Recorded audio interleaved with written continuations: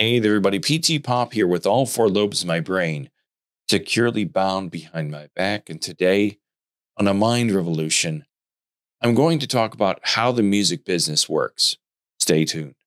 The record companies don't look at these people, bands, as humans. They look at them as a product, a mass produced product that they can put on an assembly line, put different clothing and hair and music on them, send them down the line, finish them off, and roll them out, uh, backed by you know millions of dollars of marketing money and advertising and PR.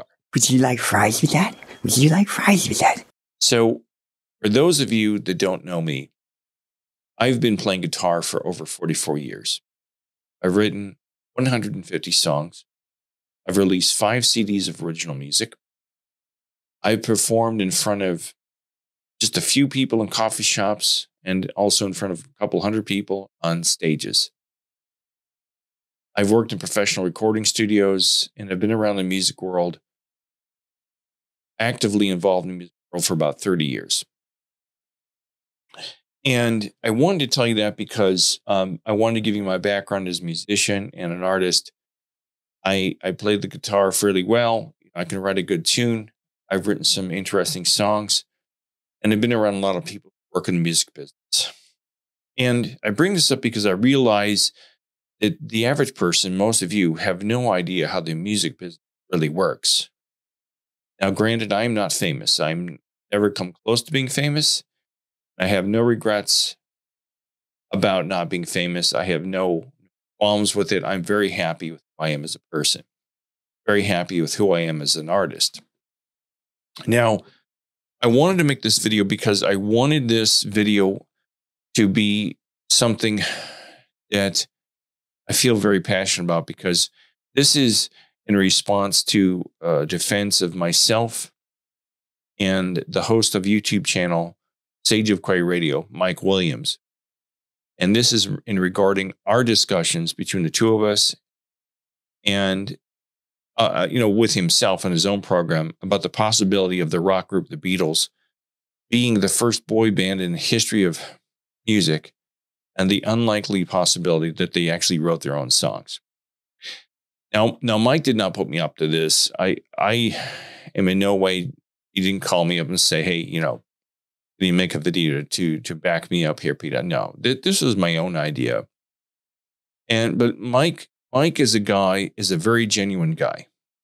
Uh, Mike has been one of the most generous, straightforward people I have met in recent memory. But his insight into the music business and the possibility of the Beatles being the first boy band who may not have written their own songs has been presented to the world without malice. And, you know, he's presented his objective, logical, and unemotional approach about his theory that the Beatles may not have been the first musical group or, or the musical group we thought they were. He's done it in a very objective manner. And I bring this up because I personally have received some very harsh messages on my videos where I talk with Mike about this and where we speak about the subject of the Beatles being a fake band. And some say, some have said that Mike and I are bonkers, that we're crazy, and that we're jealous of the Beatles jealous of their fame, their fortune. And while I can't speak on behalf of Mike, I can tell you that on behalf of myself, I'm not jealous in any way, shape, or form of anything the Beatles have or what they've accomplished. I'm not at all envious of their wives, their money, their houses, their cars, their fame. And, and I can tell you why this is because over the years, I've obtained something that money can't buy. You know, you can't can't buy me love, right? over the years, I found something far more precious than any of that. I found peace of mind and I like who I am as a person and as an artist. And I wouldn't trade that for anybody. I wouldn't trade it for anything. I wouldn't trade it for any money. I wouldn't trade it for buckets of gold. I wouldn't trade it for any any model or woman or anything. I have found something without fame and fortune and money that has brought me great peace of mind. And to say that I'm jealous of four guys who more than likely were propped up and used by the record business and the recording business to promote an agenda is just ludicrous. It's crazy.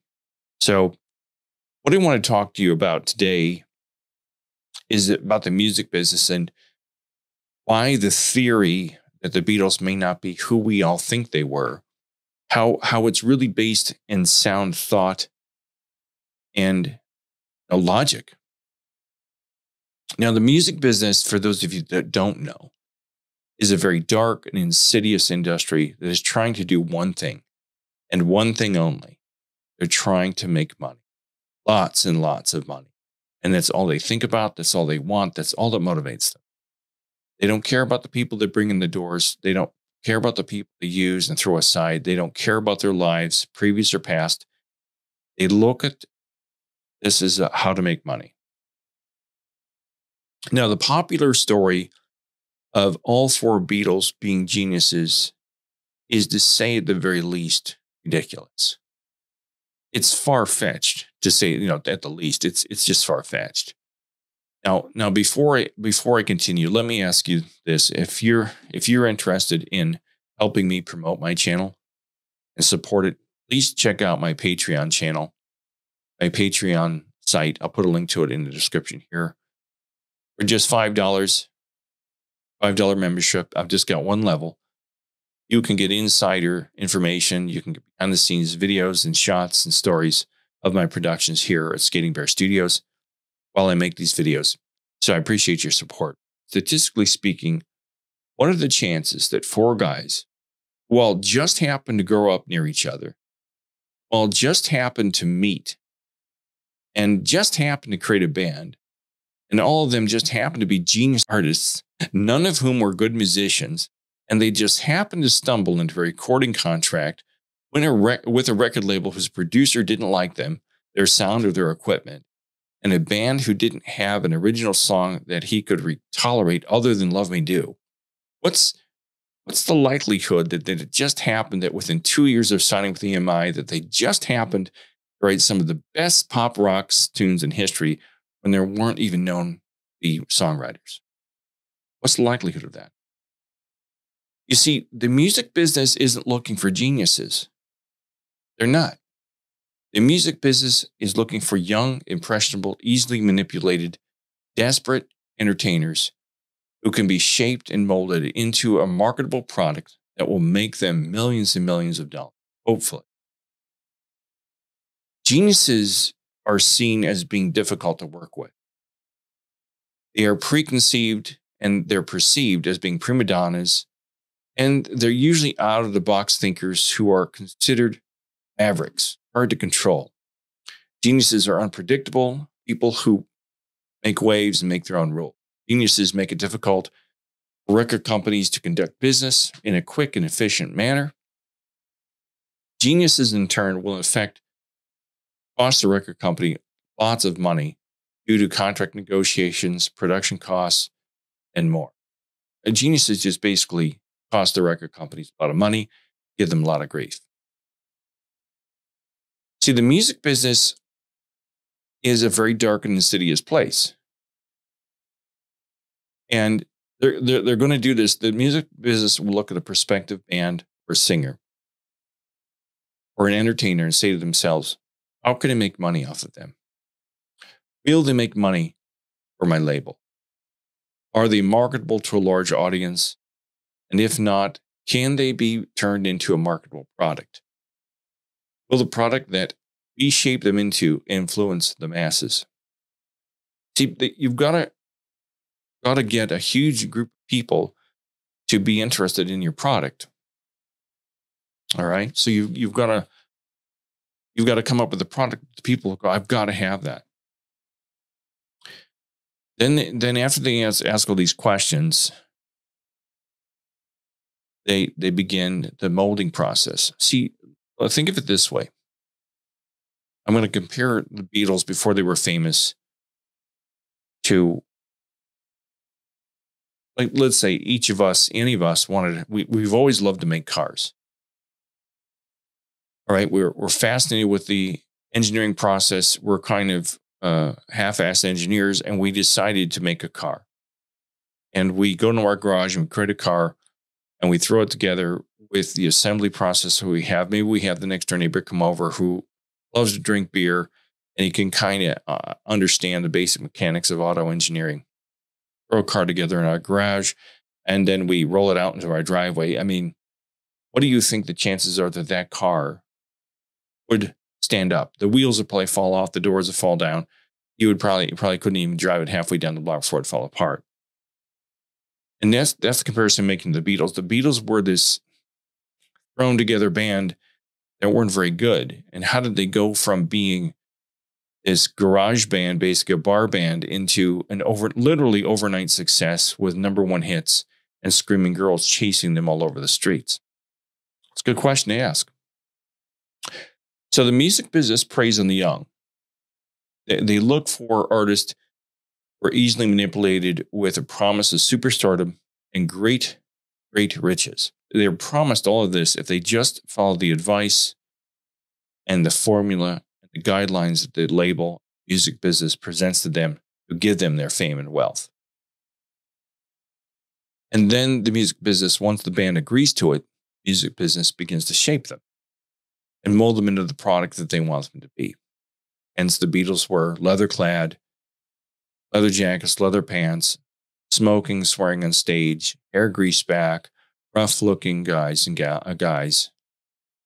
And the music business came in and said, no, no, no, you can get rid of all that. Get rid of all of it. You're going to wear suits. You're going to cut your hair. You're going to wear your hair the way we want to wear your hair. You're going to wear the suits we want you to wear. You're going to speak the way we want you to speak. You're going to stop smoking on stage. You're going to play these songs. You're going to play for 40 minutes a night around these countries and these, these cities and you're going to do it as we say. When we say jump, you say how high. That's how it worked with the Beatles. So, so the image is carefully crafted. The record company tells them how to dress, what to sing, how to stand, what to eat, how to wear their hair, what amps they'll, they'll use, what guitars they'll play, what's, you know, what their stage and show will consist of, how long they'll play, where the, they will tour. They design the album covers. They decide the order of the songs on the album. They decide what songs are going to be on the album. Their image and their songs are the product. See, the members of the band become a product, no different than a car in an assembly line. The record companies don't look at these people, bands, as humans. They look at them as a product, a mass produced product that they can put on an assembly line, put different clothing and hair and music on them, send them down the line, finish them off, and roll them out uh, backed by you know millions of dollars of marketing money and advertising and PR. The, the musicians are used and abused, and once audiences lose interest in lose interest in them, they they throw these people aside like trash, like garbage, and the record company moves on to their next victim. And so basically, these band members are tricked out. They're turned out, just like the record company is the pimp, and the and the band members are the hookers, and they use them and abuse them to make money off of them. And then when they're done beating them and, and manipulating them, they toss them aside. I don't know if they get them hooked on drugs, but somehow drugs always seem to enter the picture with musicians. Probably probably because musicians can't handle the unrealistic expectations of the record company and they have nowhere to turn to run and hide. So they start drinking, smoking dope, shooting up, shoot, shooting up smack, things like that. And, and the prime example is this is Elvis Presley. Elvis Presley was a prisoner in his entertainment world. He couldn't leave that world. He was so big and so massive, he couldn't escape it. So he withdrew into drugs and into food, and he, he eventually killed himself, allegedly. If Elvis is really dead, so when when we talk about the Beatles not playing on their own records, there is more than enough evidence in the recording industry where studio musicians come into a recording and play on another band's records. The Wrecking Crew on the west coast of America consisted of people like Glen Campbell, who's a well known guitar virtuoso and they would bring the wrecking crew in to work on different records because the band members they were playing for weren't good musicians, especially in the, in the studio. So the recording process in a professional studio is an entirely different environment than playing live in front of a group. It's entirely different. It's a whole different mindset. It's a whole different layout. It's a whole different atmosphere. And I speak from experience. The first time I stepped into a professional recording studio and the producer was behind the glass and he pointed to me, meaning we're recording, I froze. I didn't know what to do. I tried to play and you get the what's called the yips. You get really paranoid, you really uptight. You want to play well, but it's an entirely different environment, it's an entirely different mindset. It's very hard to perform in a recording studio if you've never done it before. It's very difficult. It's it's a very different mindset. And you become very self-conscious of what you're playing. There's a lot of uh, self-talk in your head, negative self-talk. Oh, I didn't play that right. And you stop and you start and you stop and you start. And this is why professional studios bring in studio musicians. Now, I know there were a few studio musicians who play on Beatle records. I mean, there was Andy White and Eric Clapton and Billy Preston and Bernard Purdie and the occasional orchestral musician that played on Beatle records. But when you're in a recording studio, the reason why they would use studio musicians specifically on Beatle records is time equals money in the recording business. This is all about money, remember? And the goal is to invest as little money as possible in the manufacturing process of a product so you get the greatest return on your investment. And that's why US US manufacturing companies offshore so many manufacturing deals to other companies for cars, steel, etc. Their wages that they pay people offshore in other countries like Mexico or India or wherever it happens to be they're paying they're paying some of these these people you know a fraction of what they would pay someone in the United States to make a car. So the whole idea is you make the you make the product as cheaply as possible so you can get the greatest return on investment.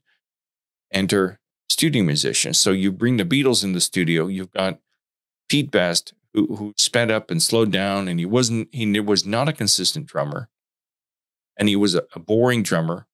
He was okay, but he wasn't steady on the drums.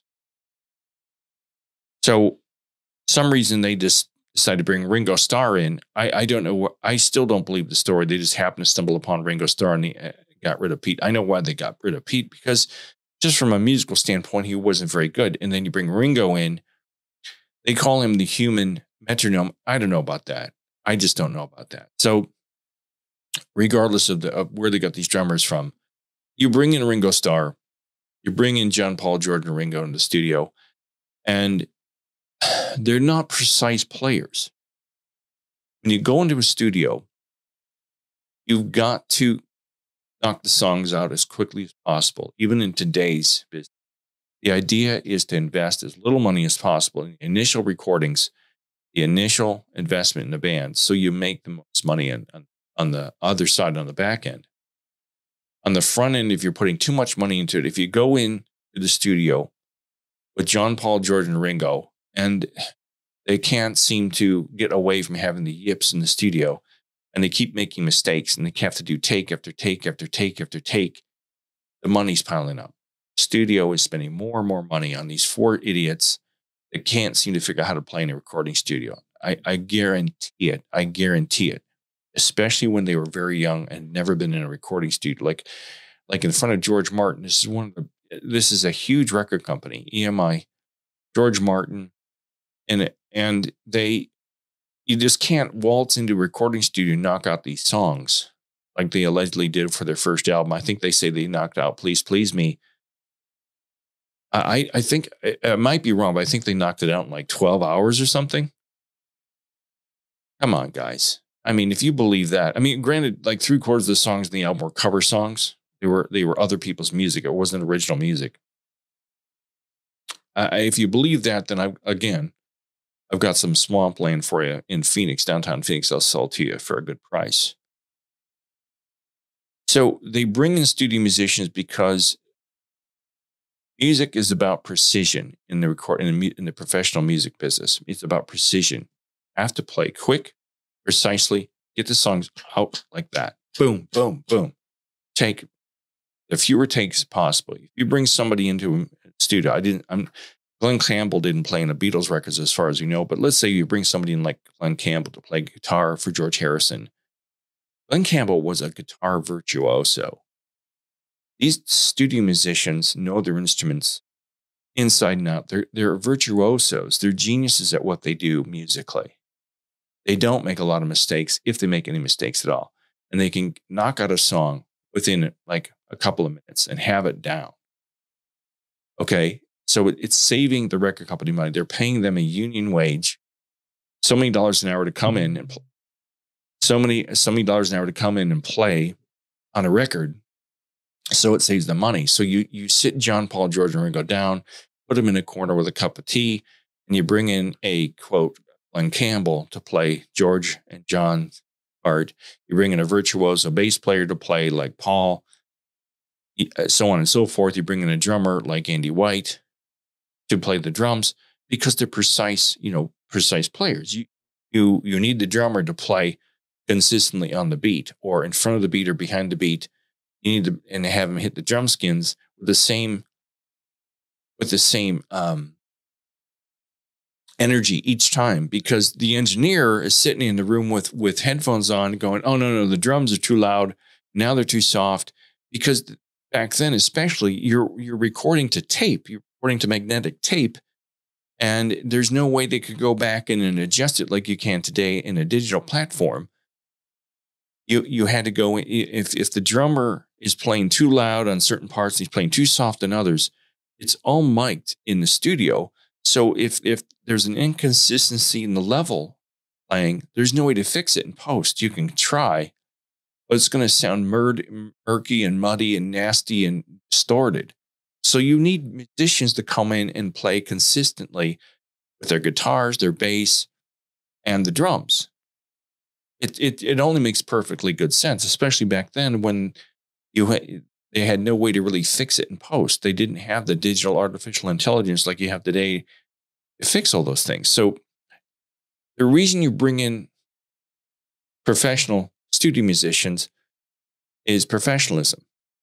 You've got studio musicians who are usually highly skilled virtuoso musicians that bring a level of professionalism and ex- expertise to the recording session, cutting back costs and time to record the songs. You have efficiency. Studio musicians are accustomed to working in recording environments and are often able to quickly and efficiently lay down tracks, saving money for the recording studio. Saves time during the recording process compared to working with less experienced or unfamiliar, unfamiliar musicians like the Beatles. They have versatility. So, uh, studio musicians are accustomed to working in recording environments and are often able to quickly and efficiently lay down tracks of different genres of music save time during the recording process compared to working with the experienced or unfamiliar musicians like the Beatles. So if you want them to play a bossa nova, they play a bossa nova. You want to play, you know, a cha cha, they know how to play a cha cha. If, if they want them to play a ballad, they know how to play a ballad. If you want them to play rock and roll, they know how to play rock and roll. If you need somebody to play piano, they play piano. If you want someone to play harmonica, they play harmonica. And I, and I do find it curious that John Lennon, the first two albums, I think, with the Beatles and Please Please Me, there was harmonica. But after that, trying to think later on, I don't think he had any more harmonica. They took it out. I wonder why. Allegedly, he could really play well. Um, they're versatile, they're consistent on their playing, and they're available. Session musicians are available. They're on contract with the, with recording studio to be available.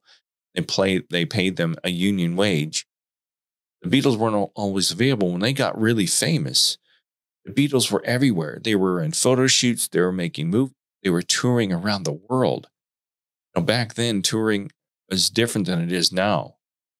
I mean, they were hitting multiple countries in North America and in Europe, flying all over the place. This, I think, this is probably the first time in history that a band really did this. I, I don't know what Sinatra and Elvis did, but they weren't available to record these songs. There wasn't time to go in the session, go in the studio and record a whole song on top of writing it and coming up with the riffs, like, you know, like the riffs to uh, Ticket to Ride and Day Tripper and Paperback Writer. I mean, how did they pull these riffs just right out of their ass? A couple of, a bunch of scrubby musicians. And uh, some studio musicians have specialized skills and are expertise in certain instrument or playing style. Record companies can bring in these musicians to enhance special aspects of recording. And it's cost effective. This is saving the record company millions of dollars uh, annually. Even today, they bring them in. It's it's not it's not an unheard of practice. It's very common. It is the best and most efficient way to make a record.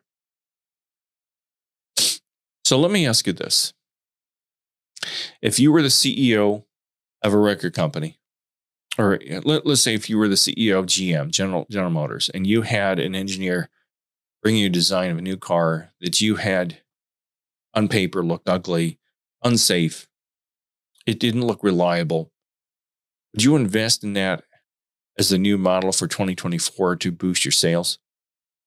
I mean, no. I mean, it, it's not something you would do. You would tell them to go back to the drawing board and redesign the vehicle. Now, once it's approved and you get a good, solid, safe, designed and engineered product, you think it's your gem and you think it's your baby. It's going to make the company millions of dollars in 2024.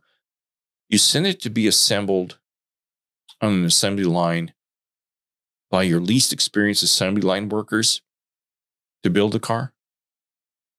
No, no, you'd give the car to the best on the line to ensure that it's the best manufactured vehicle to come out, come out of the factory as quickly as possible, and and so it rolls out off the assembly line into showrooms across the country. So you start making sales, and it's safe for people. So it's just not far fetched. The, the Beatles didn't have time to write songs. I mean, how did they go? You've got to ask yourself this question too. How did these guys go from songs like Love Me Do, which kind of plods along as lifeless dull, to Please Please Me? I want to hold your hand. She loves you. It's a completely different style of writing. It's an entirely different than what they were doing on stage. I think one of their songs, Ask Me Why, is like a ballad, a schmaltzy ballad, not well written. The lyrics are insipid. Same with Love Me Do. I mean, I'm so sorry. I hate that song, Love Me Do. I've never been a fan of it. Even when I was a kid, I'd hear it like, Love, love me do. No, I love you. So please love me do. What? It's like, uh, it's like, what? What? I mean, really, the lyrics are awful. They're they're just terrible compared to what was on the radio in America at the time. They're awful. So they somehow went from "Love Me Do" to "Last night I said these words to my girl." I know there's a entirely different style of writing. Um, my theory, you know, and I can't speak for Mike Williams, but my theory is that that they had ghostwriters. This is this is Mike's theory. This is not my own theory. Mike came up with this. But my theory is that, that George Martin had access to staff ghostwriters. Said, look, boys, um, we've got this new band. They call themselves the Beatles. um, and uh, we need some songs for them. So what can you come up with? And these guys sat down with them and tried to come up with some songs for them that might be popular. I think one of the songs they, I don't think the Beatles wrote um, How Do You Do It? I don't think the Beatles wrote that. I, I think it was given to them to sing, but they tossed it and, and replaced it with Please Please Me if I'm correct.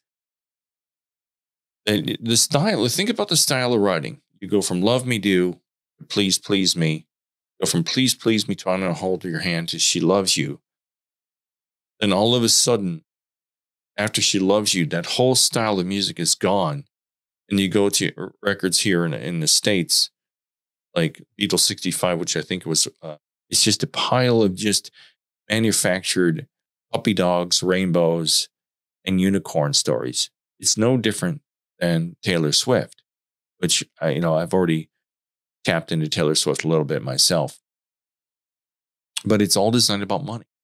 And if you really put all the pieces together and you really think about it, it only makes sense that the style of writing, nothing matches up. They change their style, their musical style from album to album. I mean, I think the closest thing you get to hearing the real Beatles is their first album. And uh, maybe Let It Be. But but they changed so much. You mean they just happened to be sitting around smoking dope and dropping acid going, "Hey man, like, you know, dude, maybe we should write a song for an album, you know, like uh here, there, and everywhere. Oh man, that's a great title, dude. Oh yeah, I mean, come on. They just happened to write here, there, and everywhere in 1966, and then all of a sudden jump up and come up with Sergeant Pepper's just a few months later. I mean, that that's like that's beyond being geniuses. Like they're all Einstein musicians that just can come up with this crazy weird sound all of a sudden out of the blue within six months of each other. Uh, that's insane. As an artist myself, as a painter, a writer, a poet, a movie maker, a photographer myself, to change styles like that so drastically in such a short period of time is impossible, guys. It's it's impossible. And maybe the record companies haven't been able to recreate it because they haven't been able to get the same ghostwriters in the room or or you know they haven't been able to convince anybody to do it again because a lot of these people who wrote the music for the Beatles saw how famous the songs got and all they got was a union wage and they said screw it we're not doing it again. Now we want more money. So they probably either fired those songwriters or they offed them or something. But that that's the premise behind it. See it, and then when when Mike Williams and I talk about this stuff it's not because we hate the Beatles or we're jealous of them we're jealous of their money. I mean, this is because we've misled. We talk about it because we've misled. That's what they do. They make products to mislead us, so we'll spend our money on it. It's about putting us into a trance. It's about it's about tricking us into forking over our dough. It's not about making us feel good. It just happens to be a side effect of the music. You happen to feel good Trust me, the Beatles were my saviors. The Beatles were my Christ when I was a little kid. I didn't know who Christ was. The Beatles were all I had, all I clung to. I had two drunk parents, and siblings that didn't give a shit, shit about me, and they all took off and left me with two drunk parents and my Beatle records. That's all I had to hope for and cling to. So when I discovered that the Beatles were potentially a big phony bunch of idiots, I went, "Whoa, this is this is really sobering. And then when you start to look at this, you see how it's everywhere. It's not just music. Most of the stuff that we consume and that we buy is garbage. The cars, the books, the phones, the laptops, the TVs, the houses, it's all garbage. It's stuff we don't really need to survive. That's why we talk about it. It's all a psyops. It's all a psyops to control us and trick us and keep us hypnotized so we will be quiet, we'll be pacified. We won't rise up against quote, them. That's what it's all about. And they've done a really good job without firing a shot of taking over our minds and our bodies. And that's what it's all about. And that's why we talk about it. I, again, I can't speak for Mike. I can speak for myself. This is why I talk about it. I try to talk about the truth. My videos started talking about call centers and the corporate world because the call centers in the corporate world are the biggest lie in the world. They, they basically wage slaves to these companies for men that came up with a product that the public is buying, but they're they're paying all of you peanuts while they sit on a hundred foot yacht in the Bahamas with their with their sexual mistress or their leather mistress, and they're snorting coke and uh, skin diving for uh, sand dollars. I I don't know what what people do. I've known a few rich people in my life. So there you have it. That's my take on the music business. Take it or leave it, but do some research. You'll, you'll find out that much of what I we all talk about re- related to this is the truth. So I'm PT Pop on a Mind Revolution. Again, if you're interested in supporting this channel, check out my Patreon channel. And I bid you adieu. I Auf Wiedersehen. Bye bye. Bye, Bonds. Would you like fries with that? Would you like fries with that?